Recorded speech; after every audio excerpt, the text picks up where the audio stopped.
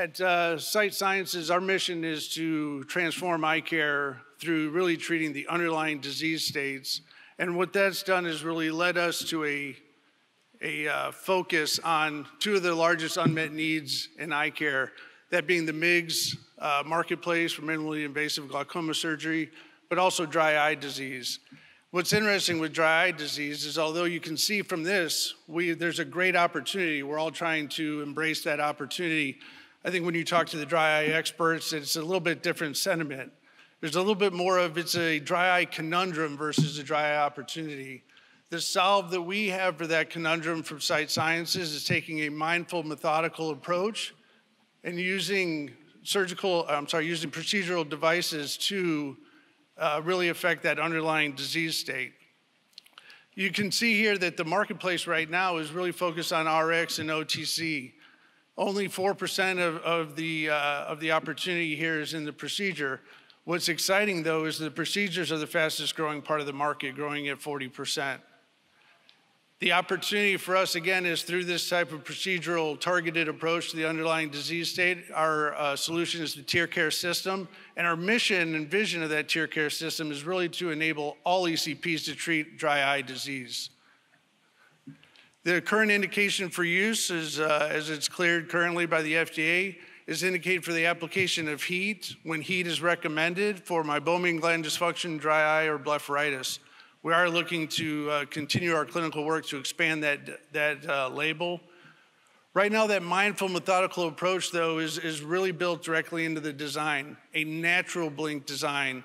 So as you can see, it goes on the exterior portion of the eyelids, transfers that heat targeted to all of the meibomian glands, liquefying the meibum, then engaging an ultra precise meibomian gland clearance tool proprietary to this system to ensure that you get the clearance, you get that restoration effect of the meibomian glands, and also featuring a first of its kind smart system, continual conversation, communication between the eyelids and the, uh, the, smart, uh, the smart lids, and then the, the smart hub as well. To introduce you to all of the components, there are some reusable components, some disposables.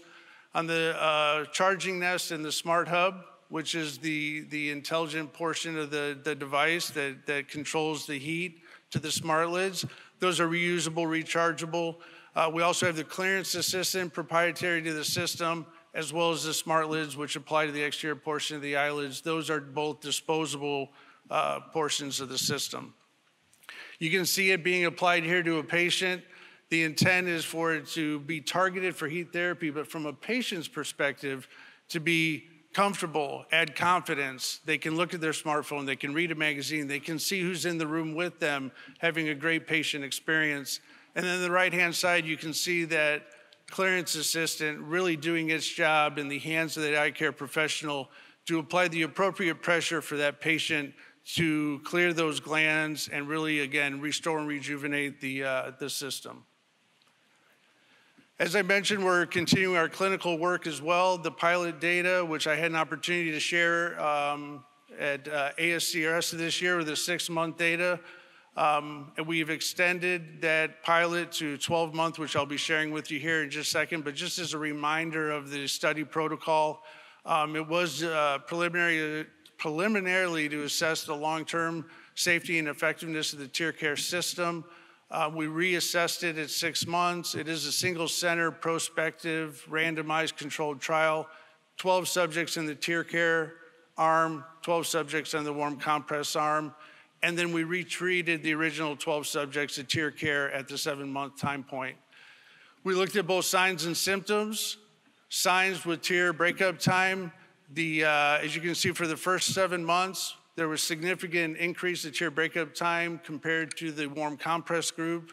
The TearCare system group had significant increase. There was some regression of that over time, so we did the retreatment at seven months. Seven months then demonstrated an equal uh, therapeutic effect. Um, again, statistically significant to the original baseline and even has a little bit different slope if you notice. So, really hypothesizing that there's an additive effect to the additional treatment as well. So, that's what we saw from signs.